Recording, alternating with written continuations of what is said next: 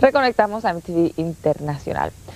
Ok, para continuar ahora les tengo a una vieja amiga quien ganó el Grammy este año por Mejor Álbum Mexicano-Americano con el disco Selena Live. Ella lo grabó en Corpus Christi, Texas, con su grupo, Los Dinos. Y Selena acaba de firmar un contrato también para grabar su primer disco en inglés. Tex-Mex en inglés.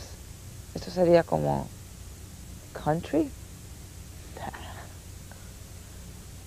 Aquí tienen a Selena con el tema que le da nombre a su sexto álbum. Es Selena con Amor Prohibido.